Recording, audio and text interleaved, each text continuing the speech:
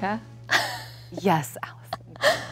When we're talking about The Sinner, what, how did it come into your orbit? What made you want to do it? Um, I feel like you hadn't done a TV show in a while, except of course, your uh, your guest star role on BoJack Horseman and an amazing pop in on New Girl. Thank you. But obviously, obviously BoJack. BoJack. Why the sinner? BoJack buddies. Good BoJack buddies. Why the sinner? Why now? What made you respond to it? Well, the the sinner when I when I read the novel in, initially, I was just so shocked and blown away that I could never understand where it was going. Every mm-hmm. time I thought, okay, this is where it's heading. I know what this is. I know what's happening here. Left turn, right turn, left turn, and I, I just couldn't. I couldn't keep up with it. Honestly, Had you read the book before the project yes. your way? Yes. you so. The, so the novel, the novel was given to me by UCP Universal Cable Productions, which ah. is an amazing studio that I've had, and I had an overhead deal with with my little production company and my producing partner Michelle. And our deal had sort of come to it, you know, the end of its term, and then they they handed us this book and said, "You have to check this out. Wow. What do you think about this?" And not only was the story just so compelling Yeah. and so intriguing, but the female character, this like lead, unreliable narrator who, you know, as we peel away the psychological onion, she just becomes more complicated and more extreme, more intense. Uh, Is she lying? Is she not lying? You know, all of these questions as you're going along through the book, and I just, I saw, I read it, and I thought, oh my, I have to do this. Yeah. This is terrifying. yeah. I don't think I can do it, but I, I need to at least try. And then you least attempt. developed it from there. So you were part of the development process throughout the whole thing. How true is the show to the book? Because as you're describing your experience reading it, that's how I felt watching it, where I was like, what? How are they going to explain? Oh my God, why did she? That's yes. why. Yes. Like- it's, it's it's very similar in, in terms of that that feeling and Yeah. that that path you're like going down. The like they're leading you down this and then they make these hard left turns and Yeah. you don't ex- you don't see it coming. Yeah. Um, but uh, we we made some changes. You know, the, uh, the detective Harry Ambrose character played by Bill Pullman, Mm-hmm. that was a little less defined, in my opinion. Okay. And we really wanted to develop that to be a real, is- like a real two-parter, and not just um, this is not just Cora's story. Totally. And the Right. chemistry between you guys was really great. And you want to see this person who believes in her. Absolutely. People don't usually stab other people because they're playing their music too loud. I realize that. And you can tell us anything, whatever you can. I feel like Glow and The Sinner are like polar opposite shows because our show is like very positive and light, and we're like screaming at the top of our lungs, and we have glitter all over our faces. And you just had to be like just gutted every day. Was it? That's did you? true. That's true. There was a lot of snot and a lot of a lot of like fluids, facial fluids coming keeps out. it very realistic. I find. I agree. It was a real um, natural, uh, authentic element Yeah. to the whole thing. But don't don't not. I mean, we can't not say that just because this is emotional and like crazy emotive. What you guys are doing in that show, let's get serious. This is no joke here. True. I mean, physically Yeah. and emotionally, because comedy stems from tragedy, right? Definitely. and stems from like a real sense of of of truth Absolutely. and pain. Absolutely. I feel like that's what, what drew me to the Glow script immediately. And Glow was not a book, but it was a real show, which I had never heard Oh. of before. Right. It was a real show that was made in 1985 and was like real hot for about four years. And, um, you know, so I heard about the concept, which was, you know, Jenji Kohan is producing a show about a women's wrestling television show in the 80s. And I was just like, I must be on this show. um, I feel like already it sounded just so unique and unlike anything I had heard of. And then I got the script, and in the pilot episode, there's so much going on for this character. You mm-hmm. catch her eh, eh, sort of down on her luck in a really low point in her life. And then there's this amazing twist and her this horrible betrayal with her friend, Right. which was totally intriguing to me. Like in one episode, and I only got to read one episode before signing on to do Oh, the whole show. yes. Um, That's that's nerve wracking. but it had everything in one episode. There were like amazing comedic moments, amazing dramatic moments, a relationship between two women that Mm-hmm. was very compelling, and then wrestling. right. So it was just Don't sort of that part.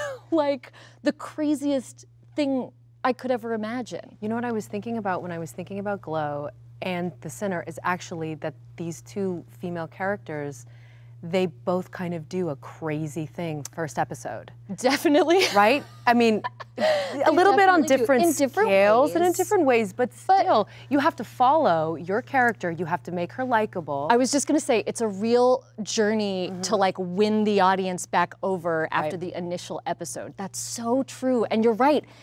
It's interesting watching The Sinner because it's so intense, the thing that she does, that even as a viewer, you're like, how am I gonna, how am I gonna feel about this woman? right. And that's sort of what makes these characters so exciting to play. I feel like I love that people love to hate Ruth or do, or just are not sure how they feel about her. Right, it's a conflicting thing. I felt conflicted about Ruth Yeah. because I felt that it was such a massive betrayal and I didn't see it coming. Yeah, At it was a big surprise. It was such a big surprise. Yeah. And I remember I was watching with my husband and I was like, Whoa, "Oh, she didn't." It I was so, it really shocked me. and it's it's funny because it doesn't matter whether you're doing a drama, whether you're doing a, a comedy, a dramedy, whatever. I don't even know how to Definitely. term, you know, what term it is anymore because it kind of melds in between the worlds. Totally. Is that it's it, it's not easy to play either of these things and it's coming from a place of truth and pain and Absolutely. and experience. yeah, And these are flawed people. definitely. I was gonna interesting. when you said I didn't know how to feel about, and then you said Ruth, but I thought you were gonna say Cora, and I was like, because playing the character, I was like, you didn't. playing the character, I feel like it is what you're talking about, where it's all about their truth in the moment. You have to be on their side and understanding what's going on with them, and sort of fighting for them to be understood. Uh, You have to. It's almost like it's anyone who's ever playing a villain. I mean, in a sense, these characters. Well, you're kind of a really. Ruth is quite a villain at some. She is. In some levels, Cora for sure. is. for sure. But any villain doesn't believe that they're the villain. You course. really believe that. Well, I must take over the world, or Yeah. God has told me to do something, and there's a higher my- purpose to what It- I am doing. Exactly. And here's why I believe in myself. I'll fight you. Who's that? Who's yelling from the audience? You heard me. I said I'll fight you. Who? You? Bored housewife in dress? Yeah. Well, you've been working for a really long time. Yes. How But young were you? You know what? Not that young. Not. I feel like we're the same age. I think, and I feel like you started working as a teenager. I mean, I was working as a teenager. I was Yeah. Seventh Heaven for me was 14. I started at 14. Wow. So And here's an interesting piece of trivia. Um, after I graduated from Cal Arts, I, or I guess before I graduated during the summer, I spent a summer doing background work on shows, and I was a extra. I was a No. background actor on Seventh Heaven. Oh in my like God, that's the amazing. Season. I don't think you were even I on wasn't the show even on the show then. And I just like had a backpack. Going through the like, lockers, 22 years old, just like down the school school hallway. yeah. That's amazing. Anyways. Small world. So different, so different type of work for me at an early age. right. yeah, Um, but you know what? Still experience. yes. And SAG card, union. starting at 14, do you feel like you've seen a crazy change over the years? Or like, I mean, certainly currently we're in a moment of great change. And have you felt like that's been gradual and happening all this time? Or do you think this is a unique moment? That's a good question. Has it been a gradual change? Um, I have to be honest. When I was a, when I was young and working in my teens, I think I was so unaware of so many things. working. I mean, I was just a kid, you know. So yes, work was fun. It was. It wasn't necessarily just like a game per se, but it, it was really fun. And I don't think I really understood how challenging it is to be in this business because I had a lot of luck when I was when I was little. Mm-hmm. Um, and as I've gotten older and seen some of this gradual change, and now really see how lucky it is to be a working actor in this in this city and a working actress specifically, that's now I can really see, wow, how far we've come. And I think specifically from television back in the 90s and the early 2000s to now, Mm-hmm. you know, you, you didn't cross over. You weren't allowed to do television and film. That's a great point. Just the You were- respect that television garners now. it's another so thing. Different. It's so different. And do you feel like there are more great roles for women now? Because I feel like maybe Yes. that's the thing that I've noticed the most. And it's, it, again, very spoiled getting to work on Glow. So I know my perspective is I'm like, every show now is just 14 women. like I know that that's not fully the Right. case, but I do think Jenji Kohan as a producer is making great strides in like casting a wide breadth of uh, types of women, different Yes. shapes and sizes, different races, different Yes. ages, and giving them all like fleshed out characters, play, letting them play real people with a variety of emotions, not stereotypes. Absolutely. Um, not that I mean, you know, I've been very lucky as well. I think to work on really fun shows and shows. I think that Mad Men was great at showing a strong, I loved uh, you know, show. complex female characters. Oh my gosh, such a, such a great,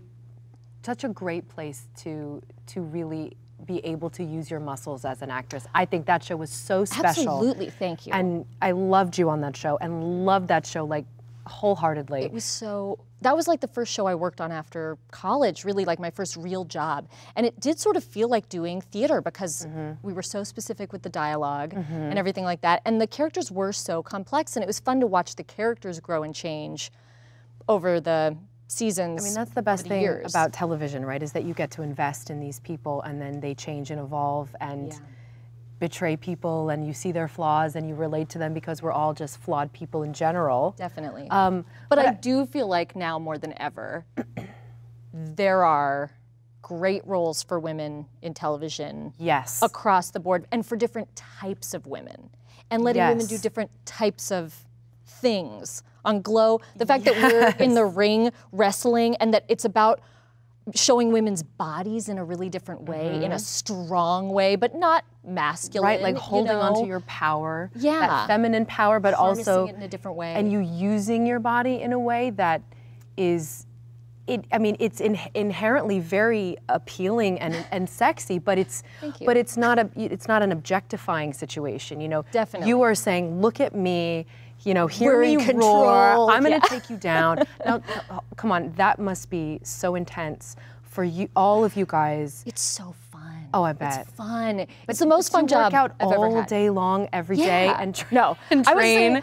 this all is the, time coolest thing. And in terms of something that's great about having women uh, bosses, you know, Liz Flahive and Carly Mensch created our show. They're our showrunners. Uh, Jenji Kohan is a producer. Tara Herrmann. We have like a lot of women behind the scenes.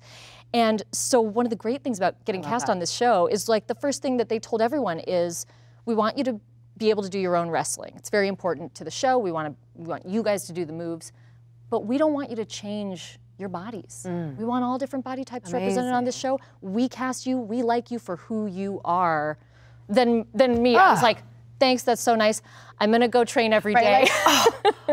I mean, Biceps. I- but it really was a different way of, of thinking You're right. about No, my body right. as a woman in this industry. Um, coming from, I think, years of thinking I have to be really skinny to Mm-hmm. get a part. I have to be really sexually appealing for men to want to cast me. Mm-hmm. Right. Um, and this felt much more uh, geared towards strength. And it really changed the way I was working out and the way I was training. Mm-hmm. Was like, I want to be strong so I can execute these moves at my new job where I get to do this cool, powerful thing. right It was not at all about how I looked. What that was like that It was like the like- icing on the cake. Was like, Right. and I look great. right i look amazing But it didn't start out. but it's not about that. That's right, and I think what if- what what freedom, honestly, because I Yeah. I, I feel like I've I've done many jobs where it, there was a physical element to it, and Mm-hmm. it wasn't it wasn't like someone said to me, you have to lose weight or you have to do this, even though that's people hear that all the time. I think in this business, I think women we hear that a lot. And I would also argue that even if no one's saying it to you specifically, there you just know. There are sort of pressures that have been put on women for a long time, and I think they're starting to change as people are looking at beauty in a different way. I agree. You know, but I think that I, I would I can only imagine as a teenager feeling the pressure of wanting to look good in a bikini. Certainly. You know? I, I remember feeling that pressure. I mean, I still feel that pressure, but I guess that's I mean, me too. It doesn't just totally go away. Not No, when I'm at doesn't. work. Not when I'm at work on Glow. right. But as soon as we wrap the show, it's like, where's my next job? right. I mean, it's it's a it's a it's a strange business that we're in, and the funny thing is, I think people forget that sometimes, you know, we have these these amazing jobs, and they come to an end, Yeah. and then you are an out of work actor again. Immediately. You are out of work, and you have to start over, and you have to go back to auditions, and you have to deal with the com- com- competition, Yeah. and the competitive quality, and, and and having to, you know you have to have that confidence within yourself. And Yeah. luckily, now I, I really do feel that, like you're saying, body types, um, all kind, all cultures, from Mm-hmm. pe- women all over the world, you can make shows and you can tell stories on television specifically. Yeah. And somebody wants to finance that, and they want to tell the story, and it is exciting. And I feel an excitement. I feel like a, a you know a feels like energy, this wave, a wave has, has been building, something and now there's this thing happening, and totally. And I almost think it takes the edge off of even the competition of it all because women have come together in such a It, way in it these does. last We're this not. last year. I think there's there's been this kind of feeling. I- It's. I don't even know how to describe it exactly, but maybe you you feel this too that. Well, we shouldn't all be in the same room together, and oh, we can't talk to each other because Totally. you guys are up for the same role, so Totally. you know, watch out, you know, this kind of thing. Yeah. And I really did used to feel that a little bit, like we were all against each other, and Yeah. now it feels like we're all arms around each other, going, uh, try it. totally. Just Come try at me, it, bro. Please, because we're all here standing shoulder to shoulder, like wanting to put each other to work. And that's what's really cool. What you're saying with all these amazing showrunners and women behind the scenes and behind the cameras, we're we're hiring each other, and Yeah. it's so great. Totally. It's so much fun. I do think it, it's that feeling is making it easier to make strides uh, with things like the wage Mm-hmm. gap because in the past, I mean, to me, it just was some. I would never talk about that with other actresses or other actors. no, I wouldn't. And even with my agent, would probably be like, whatever you think I deserve. Yes. it's such a hard thing to discuss. People hate talking about money. Mm-hmm. And I do think as actresses, we've been made to isolate ourselves and think that women are the enemy. And like, it's just not true. It's so it's not true. nice to open up those conversations. It's the only way to make change, I guess. Well, yeah. I mean, we I really said that with conviction. to make a change, I guess. I guess, trickle off. um, you know, I think it also it's I, we can't be so hard on ourselves, right? Mm-hmm. Because we have to feel that our community supports us, and and as we're putting out the best work we can and the best intention we can into our work and into whatever it is we're doing in our communities, that it's being reciprocated. And if it's not being reciprocated, then how do we feel that confidence and that power to say, yeah. you know what? I'm not comfortable not getting paid as much as he's getting paid, and I'll step away from this project. Yeah. Or whatever it is. And I think it's taken a long time for the community to sort of help push us up to Yeah. say that, and I feel that that's changing now too. Have you ever been in a position where you felt like you had to say that or could say that? Or have you, I don't know. You know, I have not said it before. Yeah, I me neither. honestly don't even know if I knew what somebody else was Yeah. getting paid. I probably have had many experiences, and you probably have too, where someone, it, it was a Definitely was getting paid. I- of, of pay. It's true. I think the tough thing for me is like, you know, when you're building a career, you're often working with people who have a lot more experience. And the way that people get paid in our industry is based on previous work and Right. experience and a quote that you already have in theory. I don't know if that totally exists as much anymore.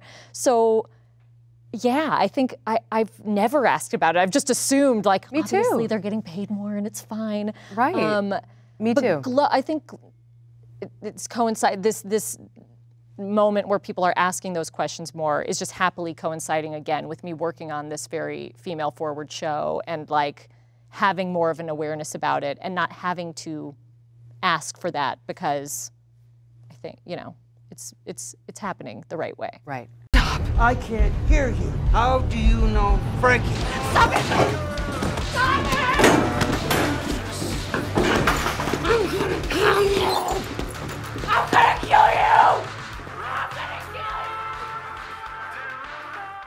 Fame is such a weird thing to talk about for me, and I would imagine it's very different for you in terms of dealing with fame outside of your work. Like, I don't think enough, I feel like for me, any type of fame that may exist near me um, just solely comes from the work that I've done. So I feel like, and and and certainly I've tried to craft it that way in terms of like be, being a kind of a private person and, and really trying to focus stuff on my work. So I feel like it's nice for me. It's more like if people are gonna say something, recognize me, it's because of a Love role. your show or Yeah. appreciate your work. Yeah. Um, I mean, I'm just laughing because I was sometimes I think back back to some of the things that I've done in the past, and I don't want anyone to see it. People just go recognize like, me. oh my God, it's Jessica from. or it's that- or it's that or it's it's just a Jessica, and it's usually the wrong one, which is what I get a lot, which I actually think is actually really fun. You know, Brie Larson and I get that. That's too. kind of confusing. I It's- could yeah, see the yeah. name, sort of the, the backward, forward, front, last. Yeah. Um, fame. I.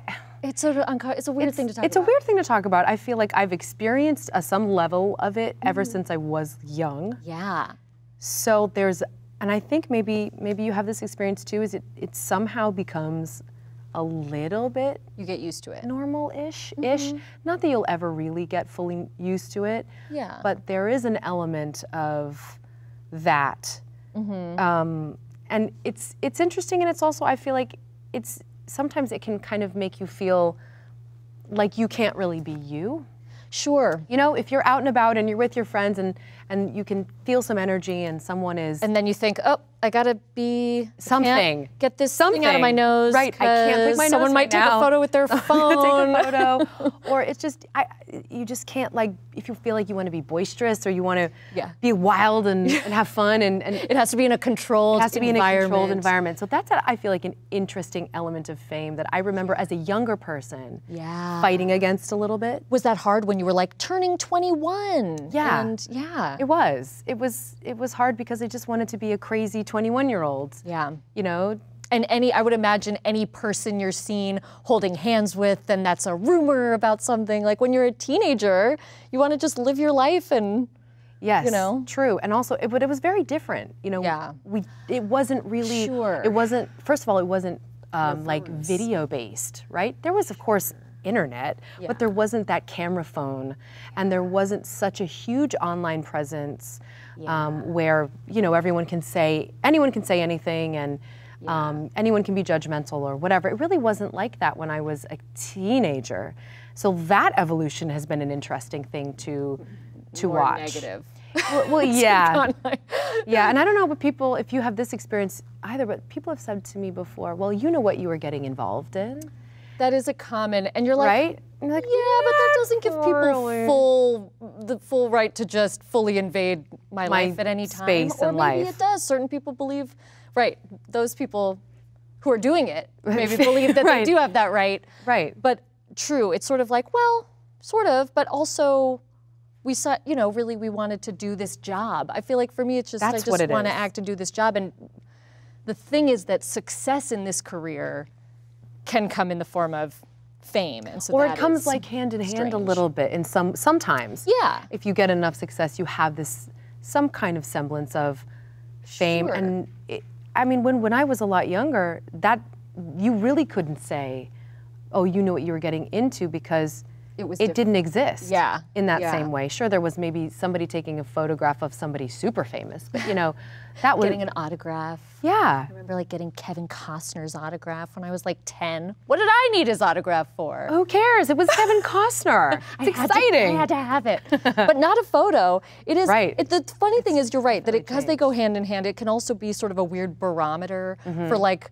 when you're doing well. Right. Oh my. God, they love the show. That's so cool. Like, Right. Yeah, exactly. I would say that's the positive. positive side of social media and that sort of stuff is like seeing Right. people dressed in glow costumes for Halloween was really So that's exciting. super cool. But certainly really cool. Or also maybe having twofold. having a platform that you can say something that's important. Absolutely. Um, that That's better can- than what I said, definitely. Well, That's no. Seeing people dressed as me for Halloween, it's amazing. You're like, or doing great things for the world. Or helping people in the world. No, believe me, Halloween, when you have you don't have any kids. No. Do you have kids? No. But I have nephews. Right. So you know Halloween is a big deal when you have kids. It is, yeah. So I think it's cool. I want to be you for Halloween. now I just have to convince my son that we can be you for Halloween because Yeah. we're still stuck on some other stuff for Halloween. But I that's get another, that. That's I get another that. talk on our show. this is for next week's show. Yeah, for next week. You think you got me, but then I come back around with the soon-to-be famous rough toilet paper. Ah! And then you know it's fight, fight, fight. I'm bad. You're good. I'm winning.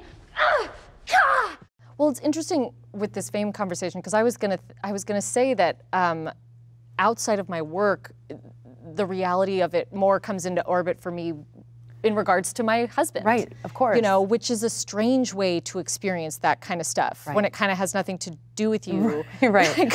Which I think I experience all the time as well. yeah. With my husband. of course. but you're right. It's um, it's a weird thing to be sort of on the fringe of it, but I love that. Do you? I actually love when I. It's When it all about him. I'm like, I will take the photo. I love that. I yes. I often. love taking the photo. Totally. Yeah, And, and if and if they're really nice, I take a good one. And if they're not, I just, Just cut them all out. shoes. Yeah. Mm-hmm. I do. Wow. See, Well, and I really. always take a good one because I'm like, I don't want them to ask again in five minutes. That's true. I have had people come back and say you kind of messed it up, and so I, you that's know, the it's, word you're- it's not a good plan. It's a it's a terrible plan. Um, how do you guys navigate working together, or do you work together often, or do you, no. or like your work schedules because you have a child? Right. One child. One, just Yeah. one. The work schedule thing is really, really challenging. I don't know how you feel in we your have life. two cats, so it's hard not enough. As, it's not as difficult. But still, still, someone has to watch the cats when you're out of town. Definitely. Um, you know, we have worked together. Oh my gosh, this is embarrassing. I, I just did a little thing in his in a music video that he just did for one of his songs. Cool. Which was really fun and kind of non-invasive, you know. Did it feel like he was the boss and you wanted to like get it right? Yeah. Yeah. but but only in a way that I think I would feel if it if it was my director or it was it was fun. But also, it's like your best friend. Yeah, and I felt I felt like I could tell him and say anything and he would, you know, respect it and and Sure. You're like, had a- I don't want to do that. he would be fine. Yeah. You know, so we had a we had a really good time, but we've never worked together in really any other capacity Yeah. Besides that and he scored my my film that I produced with my with my producing partner.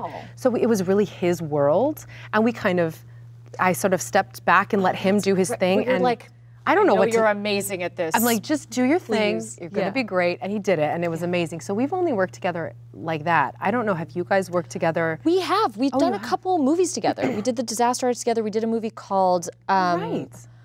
Of course. called. I love it. I know. I'm like did a movie about nuns together called. I'll think of it. Yeah. Why can't I remember the name of my? own? Oh, called The Little Hours. We've done a couple movies together. We did uh, The Disaster Hours together. We did a movie which called I The Little love. Hours. Thank you. we did a movie called The Little Hours about nuns in the 14th century. It's a fully improvised comedy. Wow. Shocked you haven't seen it. Uh, it's actually Well, I live under a rock. I no, it was a very small movie, and I loved working on that. And we shot it in Italy, and it was actually wonderful to do it together. I've had nothing but great experiences working with Dave because it's just nice to have your person with you. I think, especially on a job like that, we were kind of shooting with friends, but kind of in the middle of nowhere, and nice to have the person you trust more than anyone, even just to check in about, is that crazy what I just did, or you know, things like that. And But I think that's kind of unique in some some relationships. Like that's such a gift. it's so that you can. It sounds like you're able to talk about the work. Yeah. And not feel embarrassed or you know whatever it may be. Definitely. I feel like um, he was great about, well, in terms of the talking about the work, I feel like I like to talk about everything, and he likes to not talk as much about it. Right. So like That sounds about really right. was pulling teeth for me to be like, let's rehearse the scene the night before. I'd be in bed, be like, just read the lines with me, just read the lines with me, and he'd be like, no, just, we'll just do it on the day. Like, just read it two times. It sounds But very. pull it out of him. It sounds like really male, Uh, female. Definitely. I'd be like, let's talk about the characters more. And he'd be like, no. Oh, it's done already. ah. but there was, I guess, maybe we shot the disaster artist first. There definitely was some anxiety going into our first time mm-hmm. working together as actors on the same set, acting, because I guess, you know, that you sort of have like an on set persona. Mm-hmm. And hopefully, if you're like true to yourself, that character is not far from you as a person, but like everybody works in a different way. And I think there was a small fear of like when we get on set, what a, is he going to be weird? Is he going to be Right. is he not going to want to talk at all? Right, like I think I went into it very respectful of like I'm just going to give him space and see what's going on. Right. Are, are our on-set personas going to click and have good chemistry and like Are we gonna wanna eat gonna have lunch good together? chemistry? Oh yeah, definitely. we I'm pretty sure we shared a trailer well, well, while we were shooting Disaster Artist, because I was supposed to have like a tiny little shoebox, and I was like, I'm gonna be in your room. Yeah. And thank God it went. It was great. I feel like right away we were both like, oh, actually, it's really mm. nice to have you here, and all so good. the work when we're acting with each other, it has to be really honest. Like I can't bullshit you. Right, because you can see right through me. Totally. So very quickly, sort of was like, oh, so I'm just gonna really be real. Yeah.